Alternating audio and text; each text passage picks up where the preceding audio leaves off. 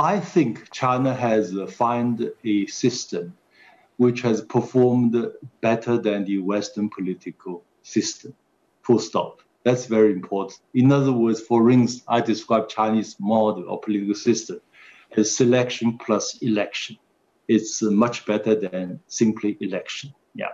So this is uh, uh, uh, very important. Way beyond the Western political model. We think that model has genetic defects. As I said many times, the assumption that human beings are rational, they can cast a rational vote. No, there are already a lot of interconnections and uh, interactions between China, United States, and the West. So I think it's far better for China and the United States and the West to respect each other, their political system. If you think your system is great, we do not envy you. You can carry on with it, but we think our system is great for us. I think you know uh, uh, the Chinese have a very great respect for learning from others.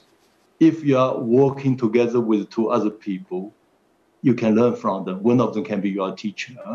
So I think you know uh, in the past decades, China learned so much from other countries, from United States, from the West.